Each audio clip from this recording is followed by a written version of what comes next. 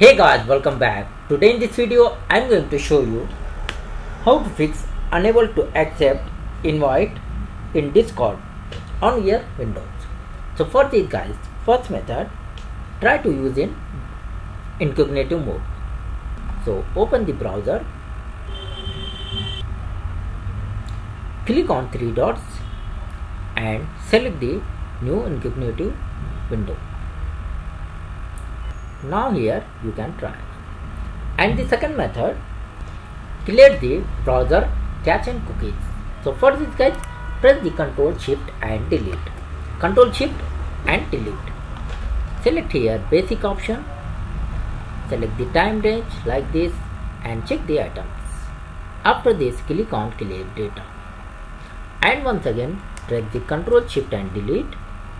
Go to advanced tab. Select the time range check here items read and check the items which item you want to clear.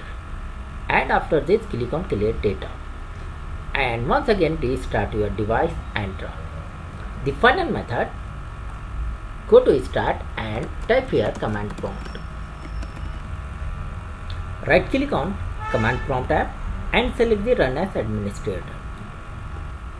Now type here command ipconfig space forward slash release and press the enter.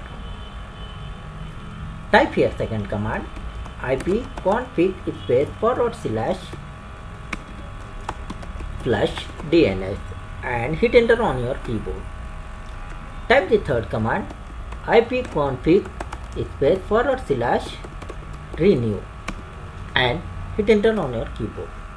Now close the command prompt and once again restart your device. So hope you like this video. Please like, share and subscribe.